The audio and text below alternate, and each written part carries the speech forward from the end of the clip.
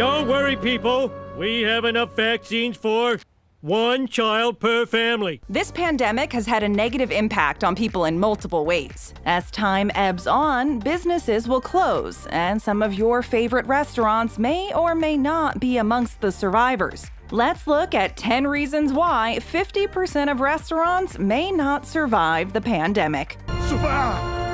Accessibility. Access denied. Access. Access denied.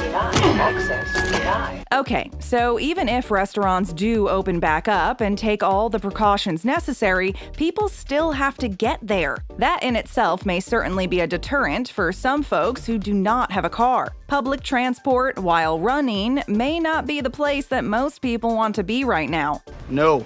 Hard pass.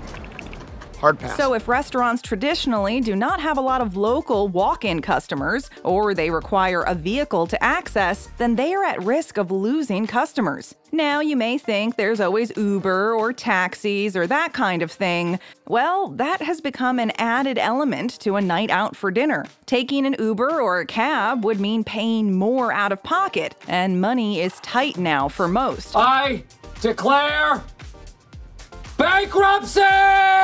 So that may not be an ideal option, but it also means exposing yourself to yet another person. Suddenly, the restaurants that are very close to your home become way more appealing than those far away, and that is just a fact. Inventory. Look at the bright side. I reduced your inventory for you.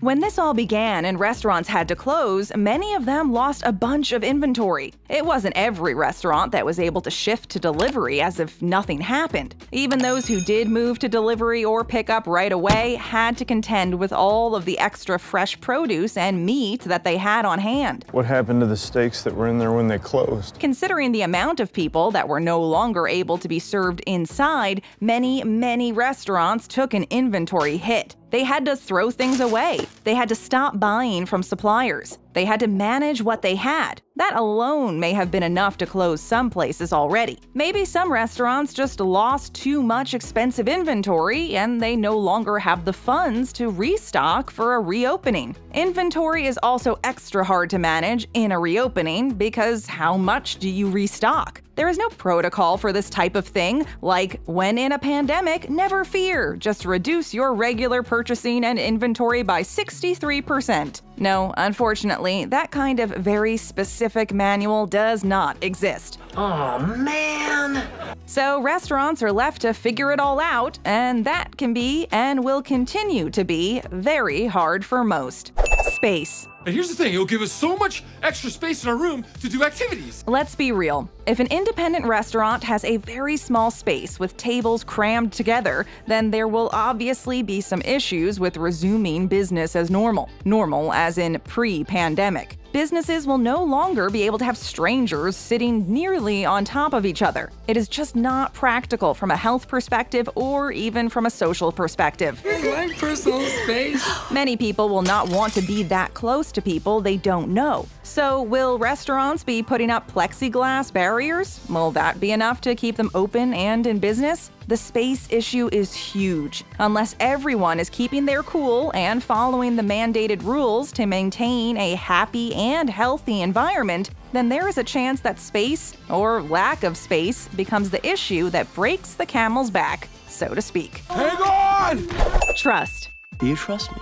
Customers will have to have some serious trust to go into a restaurant or even order pickup or delivery from them. Why? It's a pandemic. Duh. People may be uncertain whether or not a restaurant is abiding by the rules of conduct, and that may deter them from going to the restaurant, which in turn would lead to businesses going under. Restaurants are now facing even higher standards to keep their customers coming through the door. Customers will want to know, more than ever before, that the chefs cooking their meals are wearing the proper gear so that the food is in no way contaminated or put into sanitary jeopardy. Additionally, customers will want to know that the waiters carrying out their food are also taking the proper precautions. From the time the food is made to the time it is in front of you, anything can happen. Moreover, owners will likely be pretty strict about mask wearing and glove wearing, and that may rub some workers the wrong way. Then you may have situations in which it is kind of the other way around. You know, the old switcheroo. Maybe the owners are more relaxed about the rules than, say, the employees are. So, trust issues may potentially be the cause of a bad atmosphere and negative working environment. It is important for everyone to be on the same page in order for a reopening to be executed properly. It is, after all, all about trust. Outbreak. Into your cage, outbreak monkey. So, it's probably fair to say that if an outbreak was in fact reported as originating in a restaurant, then that restaurant would be in serious trouble. Oh, no, no, no, no. No one would want to go back to the place that infected a bunch of people. That's just natural. It is sad and it sucks for any restaurant that may find itself in that situation, but that is the reality of operating during a pandemic. Furthermore, if and when something like that happens, it might scare a whole bunch of others into not ordering from or going to any restaurants to eat. So, outbreaks are a major player in the reopening and longevity of a restaurant. Yes, many restaurants will reopen, but the real question is will they last? I don't know. That's a good question. Staff. How intelligent do you have to be to take a food order? It was already hard enough to find reliable staff to work at restaurants. So now, in a pandemic, finding and keeping strong staff members must be an even greater feat. From the point of view of a restaurant staff member, there are suddenly so many things to consider that may make you less likely to want to keep going into work. They have to think about who they are bringing any potential infection home to. Do they have kids? Do they have a spouse or partner who has a compromising health condition? Do they themselves have a health condition? Heck, if you had asthma, something that may never have been an issue at work before, you may be realizing that now it is a problem and you may not want to be working. I have asthma.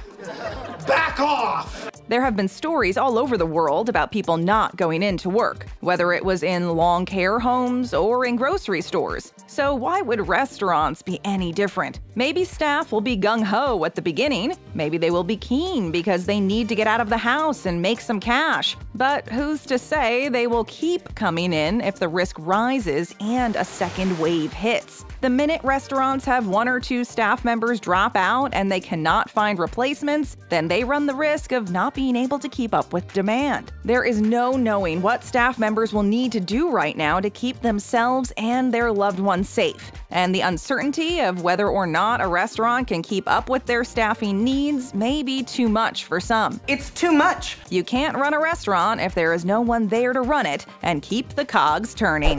Parenting. I haven't slept in four years. Okay, so think about all those folks who have kids and will not be able to go out because they may not feel comfortable getting a babysitter and can no longer leave the kids with Gran and Gramps. Seriously, date night for parents is going to look very different. Obviously, this will depend on the parent and the familial support system around them. Maybe some parents have siblings that they wouldn't eventually mind leaving their kids with so they can have an escape. Date night tonight. But that is not the case for everyone. There are many parents out there who would usually just hire a sitter or just have a grandparent take care of their kids so they can have a night on the town. With the risk of serious illness from the pandemic being higher in our elderly, we know that it wouldn't be wise to put grandma or grandpa at risk for a seemingly frivolous thing like dinner at a restaurant. Babysitters pose a different kind of risk. They may or may not have been out and about on the town. There is no real way of knowing who they have seen and where they have been, and surely that can freak some parents out. I'm freaking out right now, man. Now, it's clear that restaurants will not be going out of business just because they lose a portion of the date night crowd, but it does have an impact on the bottom line. Date nights matter, and sometimes those couples rack up big bills. Losing the parent date night customers may not be the end of the world, but it is nonetheless one example of a group of people who can no longer just casually go out to dinner. Pre pandemic planning a date night was hard enough. Funding. Evening, neighbor. Low on funds again? Yes, sir. Just like you, restaurants need to pay rent. Rent? Or they have a mortgage to pay. While some governments have put programs in place to help out financially, not everyone is applicable. Not only that, those bits of aid, while so appreciated, will not, cannot, and do not last forever, and many need to be paid back. So restaurants may close due to the sheer fact that they cannot afford to stay open. Eviction is a serious fear for many. Some spots that have high traffic because they are in a downtown area or near an attraction also have very high rent. You owe me rent. So, if they don't have the regular traffic or tourism, they are in serious trouble. There is no amount of takeout or delivery that can pay for some of these places' rent. The cost of running may be just too much and not worth it. It is also important to consider that some places may already have been in a tight financial situation before the pandemic hit. So, if there is nothing in the bank, then there is nothing to pay rent with. Even if there is some leeway and they only need to pay a portion of the rent for now, some restaurants may not even be able to do that. Supply. Ah, supplies for your journey. Oh, that's that's wonderful. Okay, so imagine this. You are a fish restaurant, and you always get your fish from a specific fishmonger. Was you just go in there and say, give me a fish? Pretty much, yeah.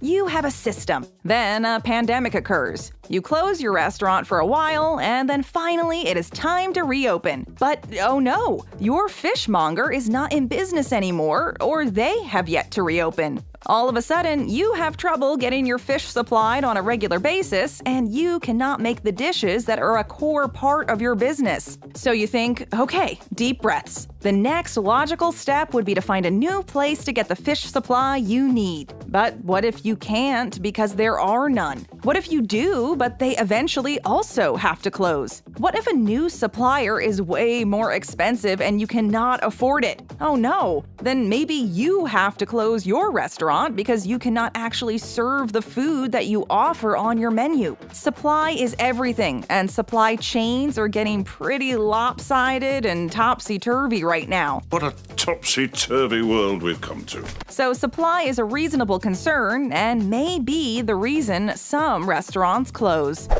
Fear.